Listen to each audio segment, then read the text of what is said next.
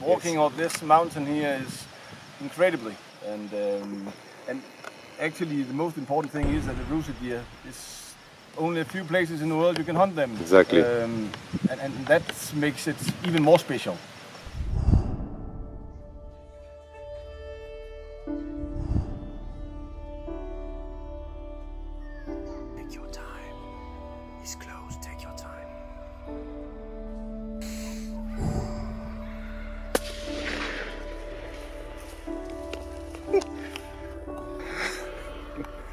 It was close, my friend. That's super close. and this is the one we wanted. Yes. Wow, what a hunt.